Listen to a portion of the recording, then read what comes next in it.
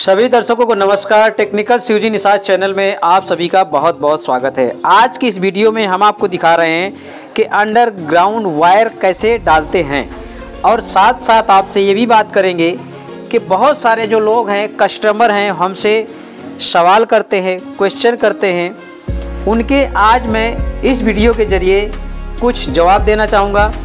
सबसे पहले यहाँ पे आपको दिखा देते हैं कि हम यहाँ पे अंडरग्राउंड वायरिंग कर रहे हैं। और अंडरग्राउंड वायरिंग करने के लिए आपका एक जो ट्रेनिंग है, जो प्रैक्टिकल है, वो होना बहुत ज़रूरी है। अगर आप नए इलेक्ट्रीशियन हैं, या नए वायरमैन हैं, या इलेक्ट्रीशियन बनना चाहते हैं तो आज का ये वीडियो आपके लिए बहुत ही इम्पोर्टेंट है और आज की जो बातें हैं, आपके साथ शेयर करूँगा, वो भी आपके लिए बहुत ही इम्पोर्टेंट है।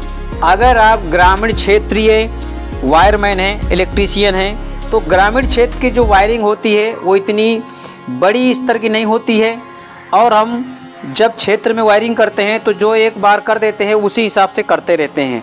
और यही वायरिंग अगर आप सिटी में चले जाते हैं, और सिटी में अगर वायरिंग करते हैं तो सिटी से और ग्रामीण क्षेत्र से बहुत ही अंतर होता है वायरिंग करने का। ये आपको खास करके जानकारी होनी चाहिए।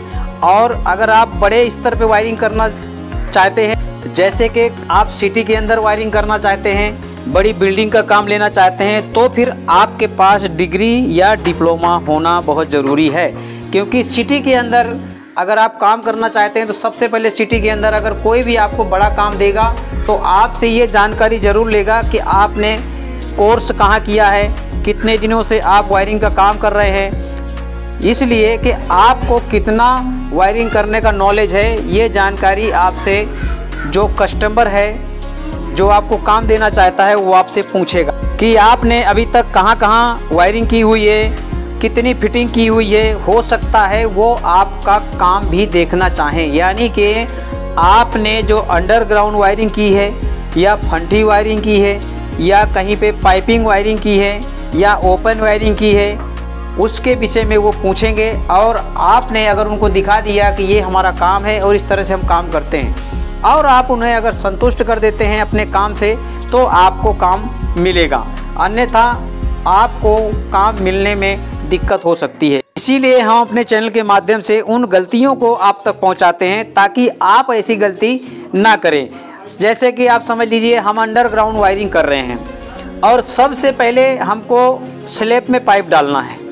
अगर प्रॉपर तरीके से, सही तरीके से हम स्लेब में पाइप डालते हैं तो पहली हमारी जो परीक्षा होती है, वही होती है। दूसरा, स्लेब खुलने के बाद में आपको झिरी कटिंग करके और जीआई के जब बोर्ड बिठाते हैं तो बोर्डों को भी आपको मसाले के साथ बढ़िया सीधा एकदम वाटर लेवल में बिठाना है। इसके बाद तीसरा वायर डालने का काम रहता है, जो आप देख रहे हैं। यहाँ आप देख सकते हैं, ये हमने वायर डाला है यहाँ बोर्ड में जैसे। और वायरों को डाल के किस तरह से बोर्ड में ले जाना है कितना एम का वायर डालना है, ये जानकारी हमको होना बहुत ज़रूरी यहाँ जितने जीआई के बोर्ड बैठे हैं, सब आउट है, टेढ़े हैं। इसीलिए आपको पहले ही मसाले से जाम कर देना है। तो आपके काम में जो है, सफ़ाई रहेगी और काम में अगर सफ़ाई रहती है, यानी कि फिनिशिंग रहती है, दिखने में अच्छा दिखता है तो फिर काम आपको बहुत मिलता है। नहीं तो फिर आपको काम मिलने में दिक्कत इसीलिए हुआ करती है। तो अपने काम में आप सफ़ाई रखें और जो भी काम करें, अच्छी तरह से करें प्रॉपर करें और फ्यूचर को देखते हुए हर काम को आप करें। अगले वीडियो तक के लिए धन्यवाद। आप सभी का जय हिंद।